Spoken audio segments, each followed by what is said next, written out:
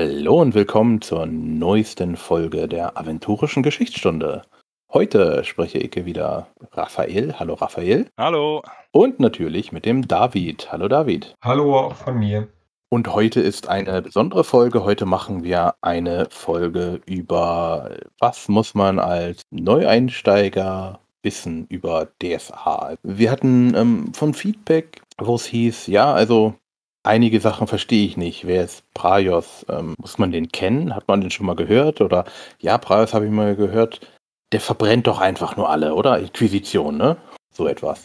Und äh, um mit dem einfach mal aufzuräumen, haben wir gedacht, wir machen also eine Folge über ähm, für Einsteiger oder für Leute, die noch nicht so lange dabei sind. Und da habe ich ja natürlich die beiden, die sehr viel wissen, das freut mich. Und wir fangen mal an mit Dere. Was ist Dere, David? Ja, Dere ist im Grunde die ganze, die ganze Welt, also der Planet, die Welt, in der Aventurien liegt. Wobei Aventurien die Welt des schwarzen Auges ein, ein Kontinent ist, es aber eben noch auf deren weitere Kontinente gibt und gewaltige Ozeane dazwischen.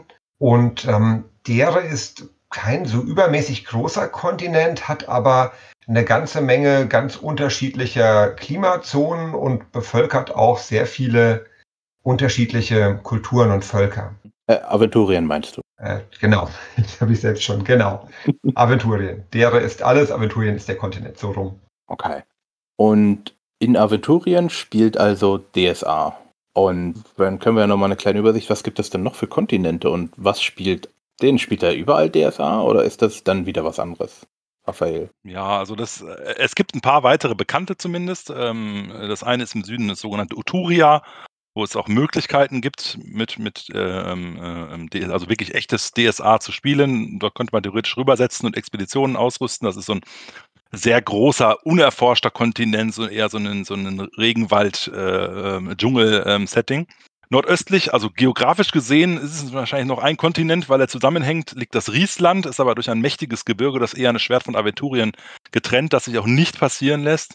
Ähm, das Riesland ist ein sehr unbeschriebenes Blatt, ähm, absichtlich, da gibt es ein paar Fanprojekte zu, aber mit Absicht eher ein unbeschriebenes Blatt, wo, wo man nicht genau weiß und Riesen logischerweise da leben, wie es der Name sagt. Und im Westen, ich bevorzuge die Bezeichnung Güldenland, so wie man es äh, äh, in Aventurien bezeichnet. Die äh, äh, lokalen Leute dort nennen es Myranor, liegt ein, ein Kontinent, der um ein Vielfaches größer als Aventurien ist und wo äh, tatsächlich die Geschichte vieler Aventurier eigentlich herkommt, weil von, von Güldenland aus sind damals vor vielen tausend Jahren sehr, sehr viele Leute übergesiedelt ins heutige Aventurien hinein. Ähm, aber das sind sozusagen, was man noch so finden kann und Zumindest in den beschriebeneren Quellen. Es gibt noch genügend Legenden über Dutzende andere Sachen vermutlich, aber äh, ich glaube, das sind die wesentlichen. Und äh, die nennen sich ja selber Myranor und es gibt ja auch eine Regeledition Myranor. Die gibt es, aber ist nicht mehr so aktuell und ich kann nicht genau sagen, wie es da weitergeht. Also da, da, bin ich nicht informiert, ehrlicherweise. Ähm, aber ja, für, für äh, Myranor gibt es äh, äh ein Regelsetting, was aber auch schon ein bisschen in die Tage gekommen ist. Ich würde denken, es gibt immer so lose Ankündigungen. Eines Tages wird das nochmal ordentlich aufgeräumt und auf die Logik von äh, der fünften Edition angepasst, aber dieses eines Tages kann, glaube ich, noch viele, viele Tage dauern. Ich glaube, ähm, so von der Geschichte her war so mein Eindruck oder die Info, dass Myranor praktisch der DSA 4.1 Test war, Kontinent war und das dann ein bisschen anders sich entwickelt hat, aber so, so grob 4.1 und dann kam aber nicht DSA 5 erst nach Myranor und dann nach Aventurien, sondern Myranor. Von der Regeltechnik her ja, genau, vom Hintergrund natürlich ähm, ist das ja, man sagt so immer ein bisschen, äh, äh, viele Leute sagen, so will ich es formulieren, weil ich es nicht ganz so sehe, Aventurien ist eher sogenanntes Low Fantasy ähm, und äh, ähm, äh, ähm, das Güldenland ist eher High Fantasy, wo Katzenmenschen herumlaufen und Löwenartige und äh, diverse riesige Dinge passieren. Ich finde, Aventurien ist schon sehr Fantasy-lastig für mich. Also das Low Fantasy finde ich ein bisschen unter. Äh, trifft es nicht ganz, aber äh, klar, es sind alles schon noch sehr humanoide Gestalten, die man da spielen kann in Aventurien. Mhm. Das stimmt natürlich. Ah, okay. Man muss auch sagen, vor ein paar Jahren, ich weiß nicht genau wann, ist die Lizenz von Myranor wieder von, äh, also, was, also sie ist zu Ulysses zurückgegangen. Die hatten die ja unterlizenziert zum Uhrwerk Verlag. Und Ulysses hatte mal gesagt, sie wollen noch mal was machen, schon sagte es, das anpassen. Wann, wie, wo, wissen wir. Mhm. Schauen wir mal, was so passiert. Okay. David, wir haben jetzt unseren Kontinent Aventurien. Gibt es da ein großes Reich irgendwo in der Mitte? Vielleicht ein Mittelreich? Genau das gibt es. Und es liegt tatsächlich auch genau in der Mitte. Also es hat mal ähm, zu, zu, früheren Zeiten ein Autor gesagt, das ist so ein bisschen ähm, Deutschland und die liebsten Urlaubsländer der Deutschen drumherum. Und natürlich ist dann das Mittelreich auch das größte Reich und hat in sich auch wieder eine große Vielfalt an ähm, Kulturen. Es gibt die eher so klassisch mittelalterlich angehauchten Länder und es gibt dann auch im Mittelreich Regionen, die ähm, ja vielleicht eher frühneuzeitlich geprägt sind oder sich auch an verschiedenen ähm, realen Vorbildern so ein Stück weit orientieren. Und das Mittelreich, das ähm, deckt quasi fast alle gemäßigten Klimazonen ab auf dem Kontinent. Es gibt dann den Bereich im Süden noch. Darunter, da ist eine große Wüste, die Kom-Wüste und dann eben auch Länder, die ähm, ja eher so mediterran oder, oder noch weiter südlich vom, vom Klima her sind. Und ähm, auch weiter noch im Süden richtig tropische, tropische Gegenden. Und nördlich des Mittelreiches gibt es noch so einen ja, Bereich, der ist so gemäßigt bis kühl, ich sag mal skandinavisch, und dann eben das, das ewige Eis. Aber das mhm. Mittelreich ist tatsächlich, wenn man nur auf die reine Ausdehnung schaut, der, ja, das größte, das größte Reich Turien. Und ist auch für viele Helden der, der Herkunftsort oder Geburtsort. Ja. Und im, es gibt im dem aventurischen Almanach oder kurz das Exzision, Regelwerk. Ähm, Ulysses sagt, du brauchst zum Spielen grundsätzlich nur das Regelwerk plus den Almanach. Und ähm, dann gibt es zwar noch so Re Regionalbände oder so, aber die sind halt nicht zwingend erforderlich. Und im Almanach, falls ihr euch das ähm, mal holt habt, dann findet ihr auch so eine schöne Übersichtkarte. Da habt ihr dann das Mittelreich in der Mitte. Und ähm, dann das, ähm, ja eigentlich das wichtigste Reich überhaupt, äh, die Bing der Zwerge direkt im Mittelreich. Ich warte ein bisschen geteilter Meinung sein. Äh, äh, als, als Autor, Mitautor einer Elfenkampagne muss ich natürlich da ein bisschen gegenhalten, aber ja, äh, die Bingen der Zwerge, die liegen ja auch nicht, nicht mehr nur geografisch im Mittelreich. Ne? Ähm, äh, es gibt tatsächlich äh, äh, im Wesentlichen äh, mehrere äh, Zwergenvölker. Xorlosch ist sicherlich eine der wichtigsten Bingen. Äh, das liegt genau im Mittelreich. Aber mittlerweile hat es auch die Zwerge ein Stückchen weiter in den Südosten in so ein eher arabisch angehauchtes Setting vertrieben. Die Tulamidenlande und den angrenzenden Raschtulswall, also ein sehr mächtiges Gebirge, wer auch durchaus ein Grenzgebirge ist, aber eher auf der, der tulamidischen Seite, haben auch mittlerweile mit den Brillantzwergen eben auch einige dort eine neue Heimat gefunden, sodass die Zwerge halt kein mittelreichisches Phänomen Phänomen sind, äh, aber natürlich sich auch in gemäßigteren mhm. Zonen lieber umhertreiben, als in Wüsten oder im ewigen Eis äh, mhm. zu sein. Ja. Okay. Also wir können sagen, das Mittelreich ist ähm, ja Deutschland im Mittelalter, viele verschiedene kleine Staaten, die aber du in diesem Mittelreich mehr zusammenarbeiten und einen gemeinsamen König oder Königin haben, auf die sie auch hören. Ja, das war schon mal anders. Äh, äh, also es gibt den Kaiser, beziehungsweise aktuell die Kaiserin, äh, mhm. Die ist formell die Herrscherin über alle Mittelreicher und über alle Könige, Fürsten und so weiter. Ähm, vor, also als viele DSAler angefangen haben, 1984, da gab es noch den sogenannten guten Kaiser Hall. Ähm, äh, das war wirklich so ein echter, also äh, zumindest von seiner Titel her als nicht ausgelebt, aber das wäre so ein echter Kaiser gewesen, der wirklich alles äh, formal unter sich hatte, weil sein, sein, sein Vorgänger, sein Vater Reto eben das auch entsprechend zusammengeholt hat. Ähm, es hat viele Schicksalsschläge für das Mittelreich seitdem gegeben, die man auch in vielen Abenteuern miterleben konnte. Und die neue Kaiserin Rohaya, die Enkelin von äh, Kaiser Hall, ähm, äh, ist tatsächlich zwar formal eine Kaiserin, aber auch eine reisende Kaiserin. Das heißt, ihr eigentlicher Kaiserhof ist äh, durch einen Schicksalsschlag nochmal zerstört worden in Gareth. Ähm, sie reist jetzt durch ihre Provinzen und die Provinzherrscher sind schon sehr mächtig. Sie, sie beugen zwar das Knie vor ihr, aber es gibt äh, welche, die tun das äh, inbrünstiger, wie zum Beispiel die ähm, Herzogin von Weiden, die auch ihre, ihre Schwertmutter ist. Äh, Weiden ist ähm, ähm, Schild des Reiches und ähm, Weiden steht immer zur, zur Kaiserin, das wird auch immer so sein. Und andere wie äh, zum Beispiel die Herrscher aus Nordmarken oder Almada, die doch etwas mehr von ihrer Freiheit für sich beanspruchen ähm, und, und zwar auf die Kaiserin durchaus hören, aber eben nicht im Sinne von, also gefühlt so ein bisschen wie in der Bundesrepublik vielleicht, wenn man sich die Corona-Krise anschaut und doch jeder, äh, mhm. äh, jeder Ministerpräsident doch ein bisschen sein eigenes Ding machen möchte und nicht das, was Angela Merkel sagt. Also so ein Stück weit kann man das vielleicht auch vergleichen, ja. Ja. Ähm, du hast gesagt, es ist ihre Schwertmutter? Genau, ähm, äh, Rohaya ist ähm, damals als, als Knappin ausgebildet worden von der Herzogin Walpurga von Weiden und dementsprechend eng ist die Bande auch. Und Weiden ist auch tatsächlich eine eine Provinz, wo so richtig das typische Rittertum durchkommt. Ne? Da, da hat Ehre noch viel zu sagen. Das, da ist Fortschritt ganz weit weg. Also so etwas Fortschrittliches wie Armbrüste wird man da schon selten finden. Da wird auf klassisches Rittertum gesetzt. Da haben die Leute ihr, äh, man zählt nichts, wenn man in Anführungszeichen sich nicht äh, zum Ritter schlagen lässt. Man, man hat eine Lanze dabei, ein Schwert dabei und wenn der Ork kommt, steht man in der ersten Reihe und verteidigt das Reich. Also das ist wirklich ganz klassisches Rittertum im Wein. Okay. Aber was ist eine Schwertmutter? Was macht die? Einfach nur die, die Ausbilderin oder? Genau, also äh, ähm, sie ist halt, äh, Rohaya ist als Knappin an den äh, äh ähm, zur Herzogin Walpurga gegeben worden. Das heißt, sie hat dort ihr, äh, äh, ja, gelernt tatsächlich, jahrelang höfische Formen gelernt, den Schwertkampf gelernt, ähm, wahrscheinlich noch Dutzende andere Sachen. Es werden mich alle Weidener Briefspieler, die ich kenne, wahrscheinlich verteufeln dafür, dass ich die Details nicht kenne, aber äh, äh, es ist, äh, ja, es, David hilft mir jetzt gleich bestimmt. Also, ähm, ja, man, man wird da zur Ritterin ausgebildet und lernt dabei all diese Fähigkeiten, die ein Ritter kennen muss und natürlich auch in dem Fall von Rohaya und äh, Walpurga sicherlich das eine oder andere politische, wobei Walpurga von beiden jetzt nicht die größte Politikerin ist, weil sie eben so eine geradlinige Ritterin ist, ja. Mhm. Die Vorstellung dahinter ist, glaube ich, einfach, dass eben auch äh, ja, die, die Tochter ähm, des, des Kaisers oder der Kaiserin eben diese klassische Ausbildung zur Ritterin durchlaufen soll, wie jeder andere Ritter, wie jede andere Ritterin auch. Und so wird sie eben Knappin und nicht, nicht zu Hause, sondern eben an einem fremden Hof, um auch ja, sich abzunabeln von zu Hause und ja, neutral beurteilt zu werden, nicht, nicht immer den Kaiserinnen. Ja. Da kommen wir auch auf einen Punkt zu sprechen. Äh, Gleichberechtigung in Aventurien ähm, jeder, egal was man ist, man kann alles werden. Kann man das so sagen? In 99 Prozent der Fälle. Äh, also es gibt Kulturen, wo es ein bisschen anders ist. Ähm, äh, äh, man hat die sogenannten Novadis eben, also dieses Wüstenvolk, was doch, ähm, wo man als Frau nicht wirklich, also zwar Einfluss haben kann, aber dann eben den Einfluss, den man als Ehefrau eines äh, Würdenträgers hat, hinter, hinter den Strippen vielleicht ein Stück weit. Äh, es gibt äh, dafür andererseits Aranien, ein, ein Matriarchat, wo traditionell eben die Macht bei den Frauen liegt.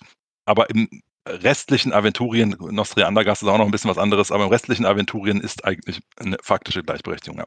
Mhm, okay. Und das interessanterweise auch schon von Anfang an. Also DSA ist ja eine, eine Entwicklung der 80er Jahre und das war tatsächlich was, was von Anfang an tatsächlich, also wo auch andere Rollenspiele noch einen anderen Akzent gesetzt haben oder unterschiedliche Boni und Mali gegeben haben auf, auf Werte, je nach Geschlecht, hat ähm, DSA von Anfang an schon gesagt, ähm, die Kriegerin ist nicht ähm, schwächer als der Krieger oder kriegt keine, keine veränderten Mali, sondern alle ähm, Berufe können eben auch mit den gleichen Voraussetzungen von allen, von beiden Geschlechtern. Mhm, okay. Wir, du hast es jetzt gerade schon erwähnt, also im Nordwesten des Mittelreiches ähm, haben wir die sogenannten streitenden Nostria und Andergast. Ähm, Raphael, auf welche Seite bist du? Bist du eher Nostrianer oder Andergast? Ich muss ja ehrlicherweise gestehen, da schlägt für mich kein, äh, also ich, ich mag die beide gleich.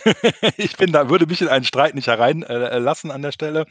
Ähm, so rein gefühlt, also, äh, äh, ähm, also ich stehe äh, äh, Wald näher als Fischen, sage ich mal so.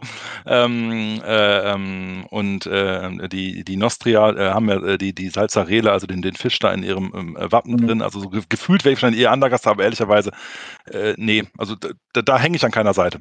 Das ist ja tatsächlich auch eine, deshalb vielleicht für die Hörerinnen und Hörer hier ganz interessant, eine ähm, definierte Einstiegsregion, wo man sagt, ne, wer in Aventurien mal anfangen will, mal locker ein eintasten möchte, der kann sich eigentlich in Nostra und Andergast ganz gut austoben, weil ähm, ja, einerseits hat man wirklich so klassische Settings auch da, so ein Robin Hood oder sowas in die Richtung, das würde perfekt nach Nostria und Andergast packen. Da gibt es schon viel zu erleben und man braucht nicht so viel Hintergrund an der Stelle. Also man muss nicht gleich in die ganz großen Sachen eintauchen.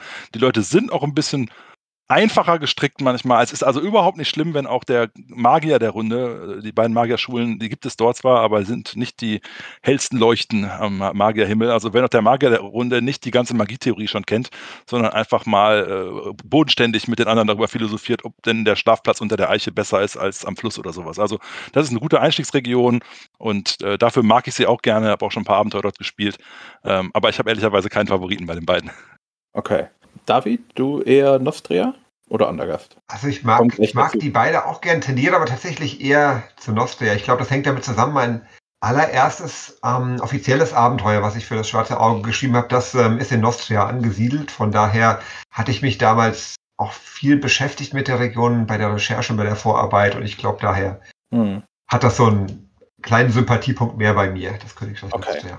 Dann äh, haben wir jetzt schon die Region aufgeteilt. Äh, David ist Nostria und äh, Raphael ist äh, ähm, Andergast. Das Interessante ist, das seht ihr jetzt nicht in unseren Videos. Ähm, David trägt blau und Raphael rot, was ja auch so die Farben der beiden ähm, Reiche sind. Was ist nun Nostria und Andergast? Das sind ja zwei Staaten, die nebeneinander existieren und eine Erzfeindschaft pflegen und sich eigentlich immer nur noch äh, aufs Maul hauen und sich die Grenzen täglich, wöchentlich, jährlich immer mal wieder verschieben. Nun, ähm, wenn man jetzt den Nostrianer fragt, wer angefangen hat, sagt er der Andergaster und der Andergaster sagt äh, andersrum der Nostria. Aber ich würde sagen, wir fangen einfach mal im südlicheren Bereich an. Äh, David, erzähl uns doch mal Nostria. Was muss man über Nostria wissen? Ja, Nostria, das ist, ähm, Nostria liegt ähm, zu einem guten Teil an der, an der Küste, auch an einer, ja, unruhigen Küste und ist zu einem weiteren guten Teil ähm, bewaldet, sodass man auch versucht hat, eben nutzbares Land dem Meer abzutrotzen durch den Bau von Deichen. Und ähm, die spielen eine große Rolle für die Nostria, denn ähm, wenn die nicht instand gehalten werden oder wenn eben eine große Sturmflut kommt, dann ähm, ist große Gefahr für die Menschen. Viele Nostria leben vom Fischfang. Die Salzarele ist auch ähm, ja, Wappenfisch äh, und ja, Wappentier.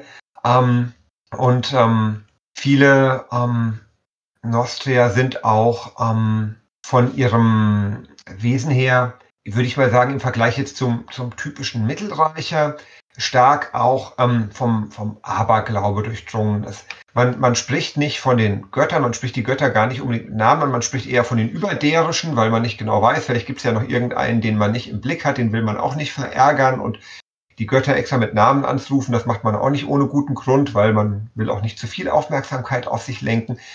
Die Nostria sind vom, vom Grunde her, würde ich sagen, eher bodenständig und ehrliche Menschen, sind Fremden gegenüber eher reserviert und misstrauisch. Die bringen neue Ideen und äh, andere neue Dinge, denen man eher so ein bisschen abwartend gegenübersteht. Und ähm, ja, Nostria wird ähm, regiert von einer Königin, die auch beim Volk beliebt ist. Und ähm, die Nostria werden eben stets bedroht vom feindseligen Andergast an der Grenze, die quer durch den, größtenteils quer durch den Wald, dichte Waldweg. Okay. Genau, dann steige ich mal mit Andergast ein. Das ist tatsächlich, also äh, ein, einmal kurz, ähm, ich äh, meine, also das Andergaster Wappen ist die grüne Eiche. Ich weiß nicht, ob man rot oder eher grün als Farbe hat. Du hast mal den rot zugeordnet, ich hätte ihn grün zugeordnet, aber wie dem auch sei. Ähm, äh, die Andergaster leben im Steineichenwald, so heißt das Ding da oben. Ähm, ähm, äh, oder die Waldwildnis wird die Gegend auch gern bezeichnet. Das sind Holzfäller, die machen, äh, ja, die, die, verdienen eigentlich, äh, exportieren Holz und das ist es, die gelten in Aventurien als Inbegriff der Rückständigkeit, so ein Stück weit, ne? ähm, äh, muss man auch sagen. Anagast ist auch noch ein sehr patriarchalischer äh, Staat tatsächlich. Äh, ähm, da ähm, weicht man eben auch noch ein Stück von dem allgemeinen Setting ab und ja, das sind halt Naturburschen, äh, so will ich es mal im, im, wahrsten Sinne des Wortes äh, formulieren. Ähm, sie hängen so ein Stück weit äh, äh, in so einer Sandwich-Position, weil auf der einen Seite sind die Nostria, die, die, können sie nicht ganz so ab, aber gar nicht so weit weg sind auch die Orks durchaus von dem mit dem, mit dem Orkland, ähm, was ja nun, die erstmal nun, wie eigentlich in ja, generischen äh, Fantasy-Spielen, äh, auch im Aventurien einfach mal so die, äh, die Rasse der Bösewichte ist jetzt. Ne? Also nicht im Sinne von, äh, äh, dass die, also, also im Sinne von einfach sind Aggressoren. Sie sind aggressiv, sie wollen expandieren, sie wollen gewinnen, sie, sie lieben Wettstreit. Ähm, das sind jetzt nicht alles irgendwelche dämonenanbetenden Wesen, die Orks, aber sie sind per se erstmal Gegner für, für jeden Helden in dem Sinne. Und das hat der Andergaster auch nicht leicht sozusagen ähm, zwischen Nostrian und Orks. Ähm, ja, viel mehr kann man ehrlicherweise aus meiner Sicht auch gar nicht zu den Andergastern sagen. Es gibt da, wie gesagt, eine, eine Magierschule, die ist tatsächlich auch sehr gut spielergeeignet aus meiner Sicht, ähm, ähm, wenn man mal einsteigen möchte mit einem Magier. Äh, die haben nämlich, es ist eine Kampfzauberschule, also man kann da auf vielen Abenteuern äh, nützliche Fähigkeiten rausziehen und sich verstehen sie eben nicht so auf Magietheorie, dass man also auch sich nicht zu viel anlesen muss, ähm, wenn man mal einsteigen möchte und, und, Magier spielen möchte. Man ist dann halt tatsächlich, also unter Magierkollegen wird man wahrscheinlich so belächelt, ähm, ähm, ähm wie, äh, ja, wie man vielleicht so der Hauptschüler von einem Gymnasiasten angeschaut wird oder so.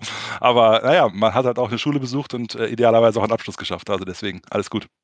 Mhm. Okay, kann man noch irgendwas sagen ähm, zu dem Kriegen, warum sie weiß man. Wie tief willst du denn hier einsteigen in das, was als Meisterinformationen gerne bezeichnet wird? Also ja, Mhm. es gibt da etwas dahinter. Äh, ich würde es mal so Mhm. vorsichtig formulieren.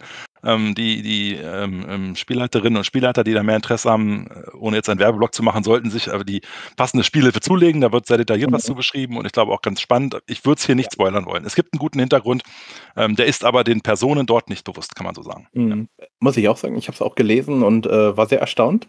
Ähm, fand ich schön ähm, aufgelöst, aber ich denke, so gerade so als Spieler ist es auch, das Nichtwissen ist manchmal auch sehr schön, sondern sich einfach mit den Gegebenheiten, ähm, ja, einfach, man muss manche Sachen einfach hinnehmen, die sind so. Also wir können sagen, ähm, es ist auch ein sehr mittelalterliches, es sind sehr, zwei sehr mittelalterliche Reiche, die auch auf einem ähnlichen Niveau sind, bisschen anderes ähm, Weltbild auch haben. Die An- Andergaster sind ein traditioneller, würde ich sagen, und Nostria ein bisschen weltoffener, wobei also das bisschen weltoffen auch sehr schon äh, sehr verschlossen sind. Aber sind, zumindest sie äh, sind etwas offen. Dann haben sie natürlich untereinander, haben sie auch noch Ränkespiele, sage ich mal, innerhalb des Reiches oder der Reiche, sodass da auch immer wieder mal was Neues passiert. Und dann würde ich sagen, Nostria Nostrianer haben ja mit ihrem Nachbarn auch noch ein Problem. Im Norden, ja, Nordwesten wieder, also die Küste hoch. Das ist ja ein anderes Volk, was ein bisschen Ärger bei den Nostrianern gemacht hat. Was haben die denn gemacht und ähm, wer ist denn dieses Volk?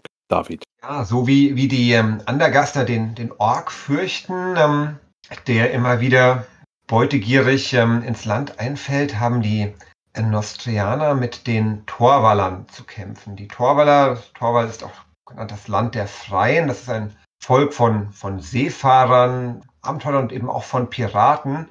Und ähm, die Küsten Nostrias werden regelmäßig heimgesucht von den Drachenbooten der Torwaller, die dort ähm, auf Plünderfahrt gehen. Und ähm, klar, in Nostria ist kein, kein reiches Königreich. Es gibt dort nicht ähm, viel Gold und Silber zu holen, aber doch eben Dinge wie Schafe für Proviant, für längere Fahrten und ja, den ein oder anderen Wohlstand vielleicht hier und da auch. Und ähm, die ähm, Torwaller neigen manchmal auch dazu, wenn es ihnen irgendwo gefällt, ähm, einfach dort zu bleiben. Und so gibt es die, ähm, die äh, Stadt Kendra ganz ähm, im Norden Nostrias oder im Süden Torvalds, je nachdem, wie man das betrachtet, ähm, wo die ähm, Torwaller eingefallen sind und sich auch, ähm, ja, also auch, auch sesshaft geworden sind. Und das ist so ein bisschen eine Furcht, die die ähm, Nostria umtreibt, dass, dass die Torwaller eben kommen. Torwall ist kein sehr dicht besiedeltes Land. Die ähm, Menschen dort sind ähm, meistens in, in Sippengemeinschaften und in dörflichen Strukturen organisiert. Sie haben auch ein gewähltes Oberhaupt, den obersten Hetmann oder die oberste Hetfrau, je nachdem, wer das Amt innehat. Aber es ist keine so, so klare Adelshierarchie wie jetzt im Mittelreich oder in Nostria und Andergast. Also Raphael, sage mal, es sind doch einfach die Wikinger, oder? Ja, die, die haben natürlich ganz klar Pate gestanden für die Torwaller. Ähm, richtig, das sind die Wikinger äh, in dem Sinne, ähm, Wikinger Aventuriens. Äh, ich finde auch immer, ich bin ein großer Torwall-Fan, aber David ist ja auch, wie ich weiß, wir haben ja beide auch ein Stück weit dazu was äh, geschrieben. Ähm, die, ich, ich möchte Torwall nicht noch die Seefahrt reduzieren, das ist mir wichtig. Der Torwall hat ein ganz tolles äh, Binnenland auch, da leben natürlich dann auch kleinere Sippen und das ist auch ein, ein Hort für spannende Abenteuer, äh, kann man glaube ich auch sagen. Also diese ganze Nordwesten Aventuriens, eben das Reich der Torwaller, wobei eben Reich in dem Sinne nicht, nicht wie ein Mittelreich ist, sondern wie ich schon dachte, es gibt den obersten Hetmann, ähm, aber selbst wenn der sagt, wir fahren jetzt alle auf Kaperfahrt, dann kommen trotzdem nicht alle gleich mit davon.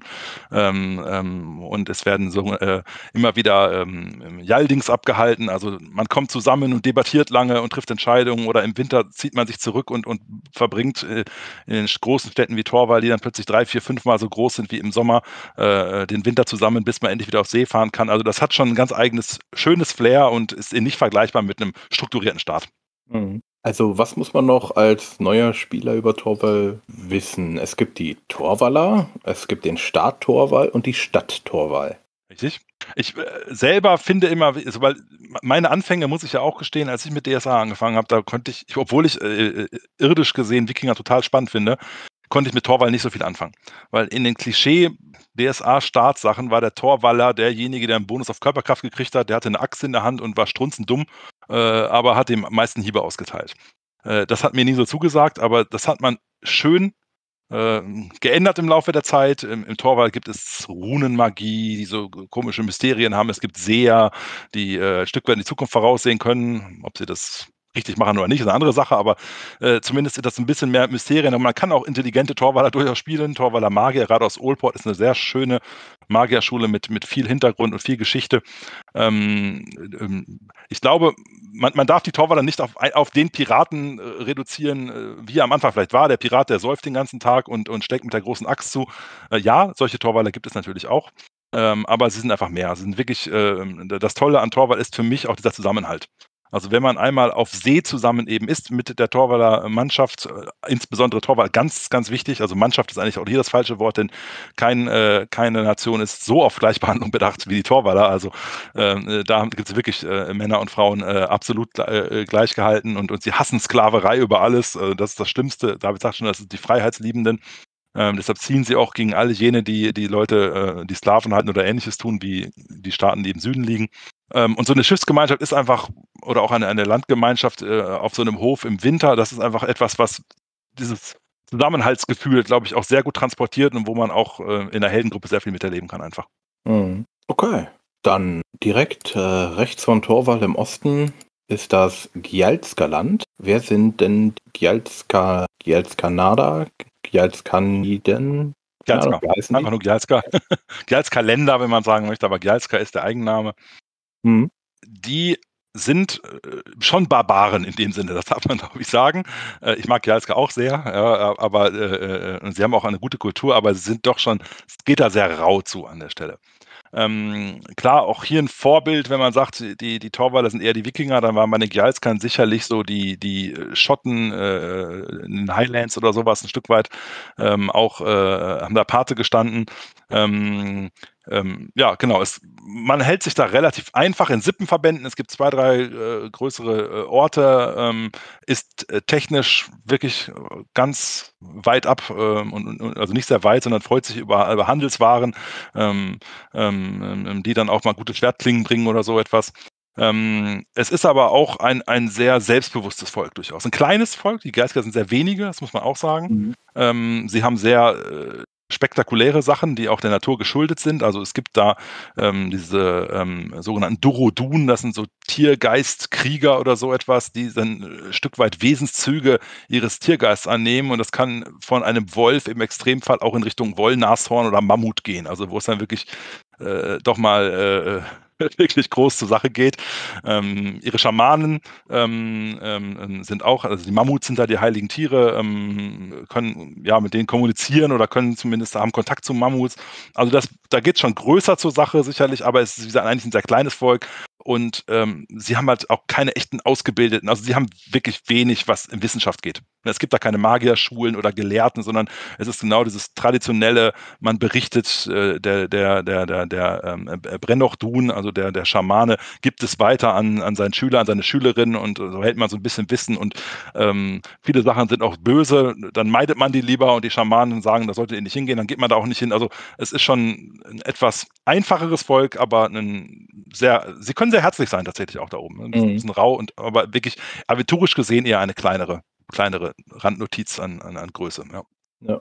Okay, David, hast du da noch was zu ergänzen? Ich glaube, Raphael hat das schon wirklich gut zusammengefasst. Viel mehr gibt es zu den Kerlskern gar nicht mehr zu sagen. Mhm. Okay, dann würde ich sagen, kommen wir zu den schon erwähnten Orks, westlich Torwall, streitenden Königreiche und grenzen aber auch ans Mittelreich. Ich glaube, die wichtigste Info, die man wissen muss, ist, dass Orks in Aventurien nicht grün sind, sondern schwarz. Und deswegen auch Schwarzpelzer. Da frage ich mich ja, ähm, aber sonst so normal gefährlich wie andere Orks? Hauen sich gegenseitig äh, einfach nur draus, äh, keine Ahnung, wachsen wie Pilze, wie bei Warhammer oder äh, eher doch so klassisch in irgendwelchen, es sind irgendwann, waren es mal Elfen, die wurden dann äh, gefoltert und daraus wurden Orks oder wie war das, David? Ja, also das, ähm, um vielleicht mal damit anzufangen, dass das Land, in dem die Orks leben, ist ein, ein raues Land, ist eher ein Steppenland und ähm, die Orks bei DSA sind organisiert in, in Stammeskulturen, auch in unterschiedlichen Stämmen, die sich so ein Stück weit auch angepasst haben an ihre Lebensumgebung. Es gibt die, die ganz klassisch in der Steppe leben,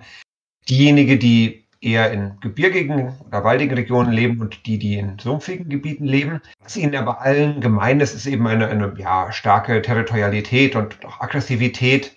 Und ähm, sie ziehen regelmäßig los, um die umliegenden Lande zu verheeren. Wobei es eben so ist, dass sie nicht im Dienste irgendeiner bösen Macht oder eines mächtigen Zauberers stehen, sondern schon eigenen, eigenen Antrieb haben und auch selbst Anführer haben. Das heißt, ähm, ja, mächtige Kriegshäuptlinge oder zauberkräftige Schamanen, die ähm, ja den Weg vorgeben. Und ähm, in Aventurien sind, sind die Orks tatsächlich eine eigene, ja, kulturschaffende, ein eigenes kulturschaffendes Volk. Kein, ähm, ja, ke keine Fehlentwicklung von, von Elfen oder einem, einem anderen Volk, sondern die haben ihre eigene Tradition, ihre eigene Geschichte und durchaus auch einen gewissen, gewissen Stolz auf, auf ihr Ork-Sein. Und sie sind auch im Vergleich vielleicht zu anderen ähm, Fantasy, Fantasy ähm, Geschichten, Fantasy Rollenspielen keine Massengegner unbedingt. Ähm, denn der, der aventurische Ork ist durchaus, was nicht unbedingt was seine Körpergröße angeht, aber was seine Körperkraft angeht, dem durchschnittlichen Menschen ähm, durchaus überlegen. Und dadurch, dass ähm, die Orks eine, eine Kriegerkultur sind, sind sie eben auch ähm, ja, im Kampf trainiert. Und es ist durchaus so, wenn ein aventurischer Held ähm, einem Ork gegenübersteht, ist es nicht so, dass das ganz klar ist, ähm, der, der Held gewinnt. Hängt natürlich auch von, von der Erfahrung und der, der Ausstattung des Helden ab, aber grundsätzlich sind Orks durchaus ernstzunehmende Gegner und keine, keine Massenware. Okay, also sie haben äh, da ihr eigenes Reich, oder Raphael? Ja, genau. Also das ist, glaube ich, ganz wichtig. Sie sind, wie David schon sagt, anders als in anderen Systemen sind das nicht die Schergen von irgendeinem mächtigen Menschen, der sie aussendet, aussendet um, um, um Ärger zu machen. Sie haben ein eigenes reich, auch wieder in dem Sinne nicht so strukturiert.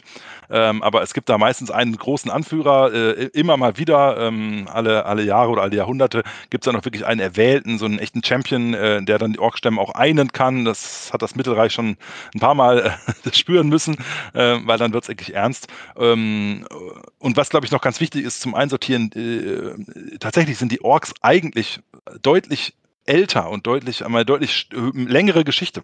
Also während bei den Menschen, äh, jetzt mal, äh, die Tulamiden sind auch ein bisschen länger dabei, aber gerade den Mittelreichern oder die, die in der Westküste liegenden, die sind, die sind so seit äh, schätze, Horas ist, glaube ich, zweieinhalbtausend Jahre her, so zweieinhalb, dreitausend Jahre ungefähr in Aventurien und Siedeln und tun was.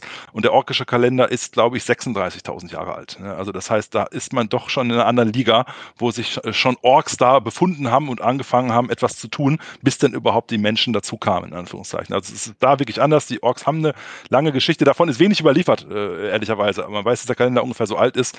Ähm, und Ork-Schamanen sind durchaus äh, sehr ernstzunehmende Leute. Ähm, und gerade wenn, wenn die sich was in den Kopf setzen, ähm, ähm, dann ist das schon eine echte Bedrohung. Ja. Du hast gesagt, ähm, direkt nebendran ist dann auch Weiden, kann das sein? Weil du meintest, die kämpfen immer in der ersten Reihe? Genau, man hat Greifenfurt äh, äh und, und Weiden, das sind die beiden mittelreichischen Provinzen, die nah am Orkland sind ähm, beide auch schon mehrfach überrannt worden oder haben mehrfach auch wiederum die Orks zurückgeschlagen. Ähm, das sind so die nördlichen Provinzen des Mittelreichs, die sich auch selber das Schild des Reiches eben nennen ähm, und immer wieder Ziele für, für orkische Angriffe aus verschiedenen Gründen. Ähm, teilweise in, äh, aus der Historie in, in, in Greifenfurt liegen alte Orkheiligtümer, ähm, äh, die die Menschen mittlerweile bewusst oder unbewusst äh, bewohnen oder überbaut haben. Ähm, und äh, ja, zu Weiden, das ist so eine ja, Antipathie war schon untertrieben, aber es ist halt gegenseitig. Es ist auch eine Art des, Respe des, des, Respekts durchaus. Also der Ork weiß schon, der Weidener Ritter ist der Mensch, mit dem er zu tun hat ähm, äh, und an dem er erstmal vorbeikommen muss. Aber das passt ja auch so ein bisschen in die orkische Philosophie, ist zumindest so meine Sichtweise ähm, an der Stelle, dass die, die Orks, die lieben Wettstreit, die lieben Herausforderungen ähm, und die sagen sich, naja, wenn ich Weiden mal geschlagen habe, dann ne, der Rest quasi äh, passiert dann da unten. Die können nichts, die Verweichlichten. Deswegen suche ich mir ruhig mal die starken Gegner und, und, und, und messe mich mit denen. Das kostet Weiden relativ viel Blut, aber bisher haben sie erfolgreich dafür äh, auch die Stellung gehalten, muss man sagen. Ja.